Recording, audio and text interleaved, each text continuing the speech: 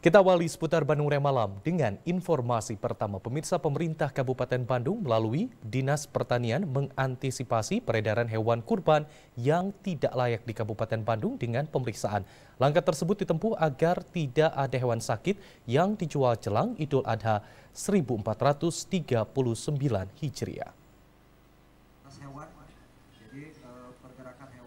60 petugas akan memeriksa kesehatan hewan kurban terdiri dari dokter hewan paramedis dan penyuluh peternakan. Sedangkan petugas yang akan menyembeli hewan kurban sebanyak 250 orang. Para petugas sering kali menemukan hewan kurban yang belum cukup umur dan sakit.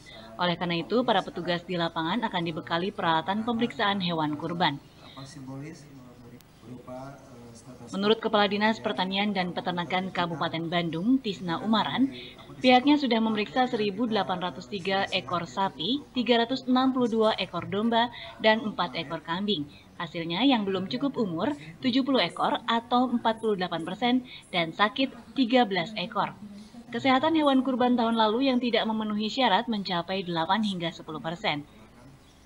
Uh, mulai sebetulnya mulai kemarin kita sudah mulai apa uh, melakukan pemeriksaan. Dan kalau uh, berdasarkan tahun yang lalu kita ada uh, 574 uh, pangkalan gitu ya lapak.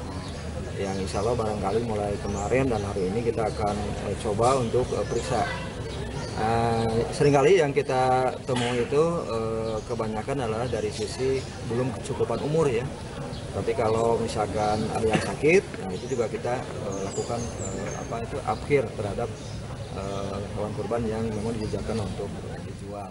Pihaknya mengantisipasi peredaran lalu lintas hewan kurban yang diperjualbelikan dan menyiapkan 3.000 lembar surat sehat hewan kurban.